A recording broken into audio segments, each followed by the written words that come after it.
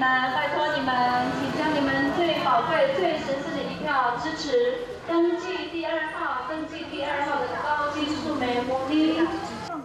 三地原住民立委候选人高金素梅竞选团队沿街拜票，由部落妇女组成的竞选团队，每天一早就开始各部落的拜票行程，不停的跑，不停的握手拜托。在屏东，每个候选人的竞选团队都出现不同的特色，高金素梅的妇女助选团就成了部落熟悉的面孔。扫街拜票，再看看一大早，立委候选人曾志勇总部就来了几位年轻族人，开始折文宣、折宣传、包糖果。到包槟榔，工作项目更是五花八门。八个乡呢，我们有各后援会，他们都在密集性的扫街。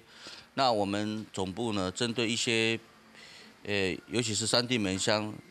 呃，在做最后的说明会，以及是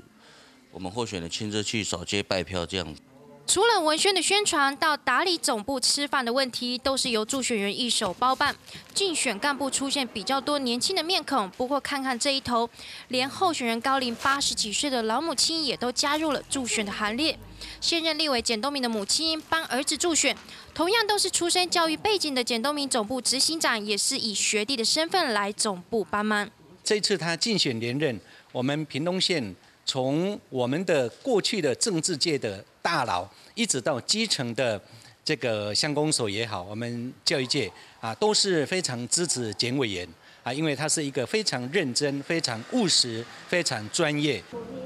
从登记参选到投票，将近有三个月的时间，各总部就集结竞选干部，拼命的拉票。倒数几天，不管是部落的妈妈、妇女团队，或是朝气十足的年轻族人，甚至八十高龄的母亲，选举期间都默默的在背后支持、力挺到底，都成了各候选人最强而有力的超级助选员。记者阿瑞哥斯，屏东内埔潮州泰武采访报道。